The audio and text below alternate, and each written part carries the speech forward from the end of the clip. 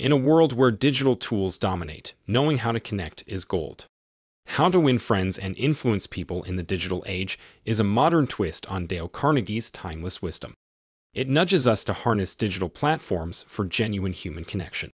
Begin by listening, be genuinely interested in others, and they'll open up to you. Praise and encouragement go a long way. Remember to give them generously. Always keep your criticism constructive. When it comes to the online world, your words are eternal, so think before you type. Be a thought leader, share your insights, but stay humble.